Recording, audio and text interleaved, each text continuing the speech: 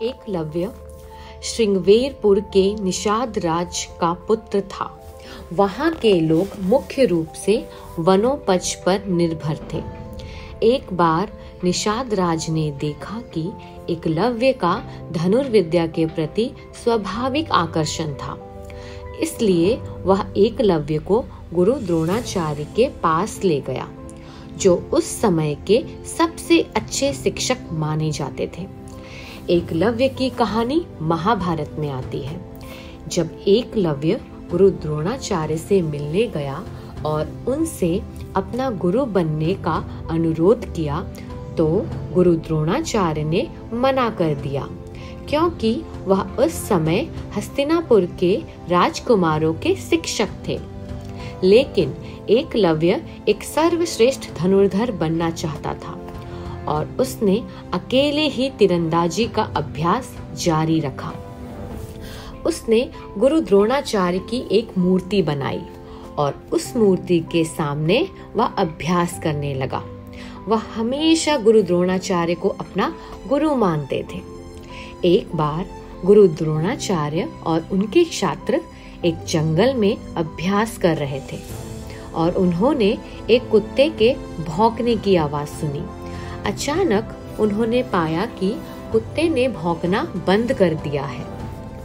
वह इस बारे में सोच ही रहे थे कि उन्हें एक कुत्ता दिखाई दिया, जिसका मुँह तीरों से भरा हुआ था। कुत्ते के मुँह में कोई चोट नहीं आई थी। यह निश्चित रूप से एक सर्वश्रेष्ठ धनुर्धर का काम था। वे उस धनुर्धर की तलाश करने लगे। जब उन्होंने एक लव्य को तीरंदाजी का अभ्यास करते हुए पाया और गुरु द्रोणाचार्य ने एक लव्य से पूछा कि क्या उसने कुत्ते के मुँह को तीरों से भर दिया था?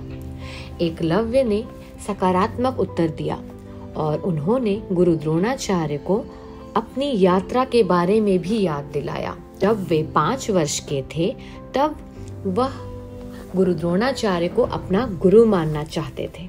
उन्होंने गुरु द्रोणाचार्य को यह भी बताया कि उन्होंने गुरु द्रोणाचार्य की एक मूर्ति को अपना गुरु बनाकर उनके सामने अभ्यास किया था। गुरु द्रोणाचार्य समझ गए कि एकलव्य अर्जुन से बेहतर धनुर्धर था। गुरु द्रोणाचार्य अर्जुन को दुनिया का सबसे अच्छा धनुर्धर बनाने के अपने वादे के बारे में सोचने लगे।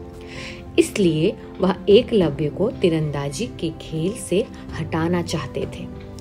गुरु द्रोणाचार्य ने एकलव्य से कहा कि वह अब गुरु दक्षिणा चाहते हैं। और वह गुरु दक्षिणा के रूप में एकलव्य का दाहिना अंगूठा चाहते हैं। दाहिने अंगूठे के बिना एकलव्य वही प्रभावी धनुर्धर नहीं रहा। इस तरह एकलव्य के साथ अन्याय करके द्रोणाचार्य ने एकलव्य को प्रतियोगिता से हटा दिया। एकलव्य के बारे में और अधिक जानने के लिए कृपया महाभारत पुराण और विष्णु पुराण पढ़ें। हिंदू धर्म के बारे में और अधिक जानने के लिए कृपया ज्ञान कथा चैनल को सब्सक्राइब करें और अगर आपको यह कहानी पसंद आई है तो अपने परिवार और मित्रों के साथ शेयर और लाइक अवश्य करें।